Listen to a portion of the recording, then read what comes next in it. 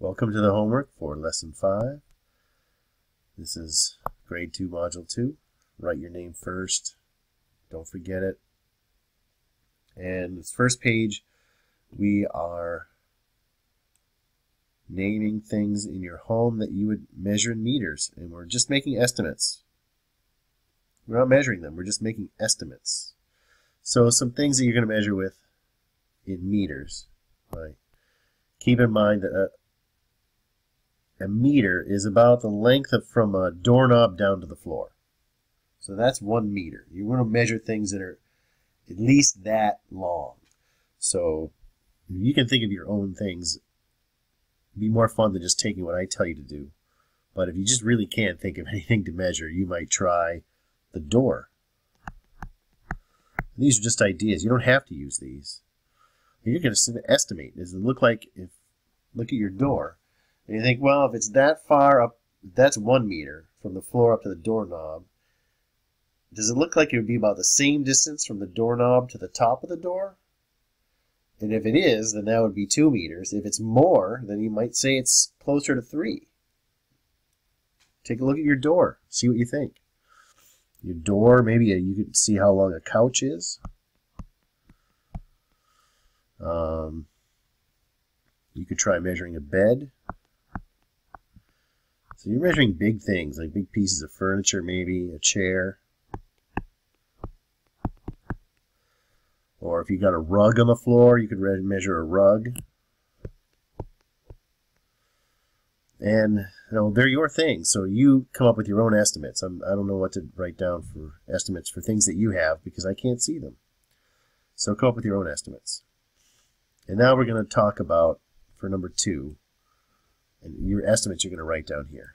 So, you know, how many meters is it going to be? These are all going to be estimated in meters, right? So don't forget to write down the units, m's for meters. You're going to have to write your own numbers for each one. How many meters do you think that is? How many do you think that is? How many do you think that is? You have to write your answers there. And those are just estimates. Estimates are only supposed to be close. They're not supposed to be perfectly or exact, exactly right. So they're just estimates. We're using a, a benchmark of that idea of how far it is from the floor up to a doorknob and just try and imagine that, what would fit into that space and how many times that space might go over something else. So number two, choose the best length estimate for each object. So looking at a whiteboard in a classroom, 45 centimeters is that's a little bit longer than just a ruler. so that's not very long. A whiteboard It's probably going to be bigger than that unless it's a personal size whiteboard. If it's a big one that's in the, uh, up on the wall in your classroom, three meters is probably a better estimate. a banana. Well, let's see. A banana, if it's the size, if it's 30 centimeters, that's about the same size as a, whole, a full-size ruler, a regular ruler. That would be a wicked huge banana. So a regular banana is probably going to be a lot smaller. I don't think even a plantain would be that big. so I would go with the 14 there. Uh, a DVD. So just like the disc, right? Uh, 17 would be about half of a ruler. 25 would be most of a ruler. Uh, 25 seems big for me, so I think 17 is closer and a pen, you know, and you may you've seen three of these. Try doing the last two yourself. Pause the video, see if you can figure out the next two. And now that you've seen just some examples of how to think of it and how to figure it out, um, maybe you can figure it out for yourself, and then play and see what I did. Okay, so a pen. A whole meter, a, a pen that would be a meter long would be a really big pen.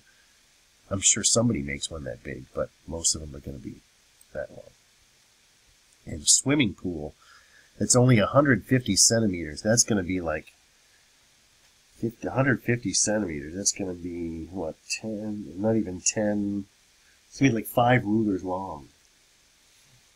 So that's a really tiny swimming pool. Um, 50 meters looks like it makes more sense to me.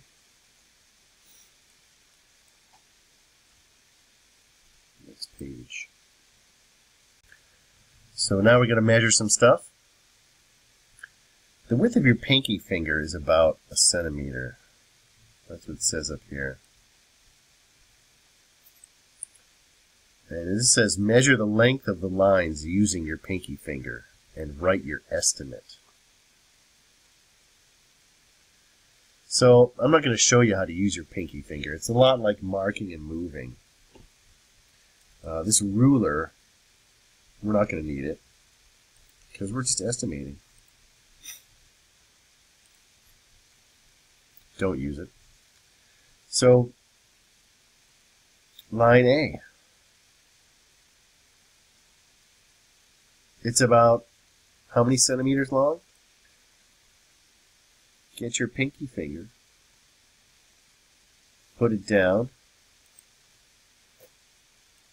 mark about how wide it is, then move it, mark it again, move it, mark it again, move it, mark it again, move it.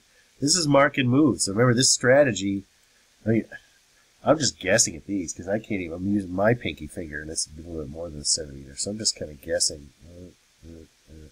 about another one. I'll mark it right about there, and then that leaves about room for about one more pinky finger or so. And, you know, just mark and move with your pinky finger. So that's one, two, three, four, five, six. Not how long your pinky finger is. It's like how far, how wide it is. So not the long way, but the the short way across your pinky finger. Uh, that's how, that's how come these lines are so short. So that's one, two, three, four, five, six, seven. That's about seven. So there you go. We have our lines. That's a, that shows our work. You got to have those. You got to show these. You're marking and moving. You have to have these marks. And you counted seven. Now I'm told that uh, if you measure this with a ruler, it's really only six. But I'm not going to change it because that's what this this is all about means we're just trying to get it close. So when you're marking and moving, that's all you're really doing is trying to get, you're estimating it. You're trying to get it close. And, you know, there's no need to fix it as long as it's just, as long as it's close. Uh, we're not actually measuring it, we're estimating. So we're going to get a number that's close or around uh, the right exact number. But if it isn't, well, it's not supposed to be exactly right. So we go on. Do the same thing with line B. Use your pinky. That looks like about one pinky long. Know, the width of my pinky, about one of them. One. Line C, that I'm going to leave this one up totally up to you. Don't measure it with a ruler. Don't measure it with a ruler. Make some marks. You know, mark it. Uh, right? So you can you can use some of these other lines to make your estimates too. You could do that. You know, if this, if that's one, then that's about one. And that's about another one. And that's about another one. But you know, you put your pinky right on the page, mark it, move your pinky, make another mark, move it like that. And some people are getting, maybe you got a skinny pinky, and you're going to have more marks than somebody else because it's not exactly a centimeter. Maybe it's less. Maybe you've got big fingers and it's going to be more than a centimeter. You're going to have less marks. But you're going to have whatever you're going to have here after you have after you make your marks, however you make them. And I'm not even going to finish this because I don't know what your estimate's going to be.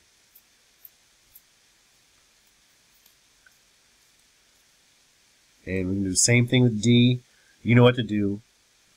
Put your pinky right on that endpoint and then keep marking and moving. Move your pinky, make another mark. Move your pinky, make another mark. And hopefully when you're done making your marks, they're about the same distance apart from each other. So you don't have two lines that are really close and one that's really far apart. You don't want that. When you're marking and moving and you see that, you know you've made a mistake and you should probably go back and try and fix it and even it up. But that's, don't worry too much about it. It's just supposed to be an estimate. These are all about, about, about. When you see that, you know you're estimating and your, your answer's not supposed to be exact. It's nice if it is. You're just lucky if it is. It's just supposed to be close.